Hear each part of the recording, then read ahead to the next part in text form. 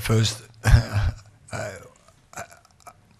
am sure uh, they are very disappointed in us, and we have to to put things right. We have to do things different, and I really, we really appreciate all the time they're supporting us, even with the uh, with the setbacks we have during this season. They're all the time behind us, and we are really appreciating that.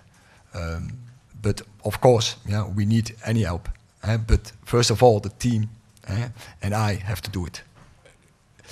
No, I'm not uh, not disappointed by um, by the attitude, but um, of course we know what the standards is at Man United, and we have to win as a team, and therefore, yeah, I take the word responsibility. We have to take that as a team, and every individual has to contribute 100% uh, in that uh, responsibility. Yeah.